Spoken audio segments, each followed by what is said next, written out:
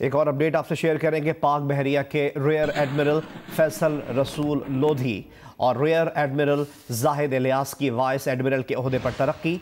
Vice admiral Faisal Rasool Lodhi commander coast vice admiral Zahid Ilyas commander Karachi के फ़राइज अंजाम दे रहे हैं। तर्जुमान पाक बहरिया के मुताबिक वाइस एडमिरल फैसल रसूल ने उन्नीस सौ छियासी में पाक बहरिया की ऑपरेशन ब्रांच में कमीशन हासिल किया।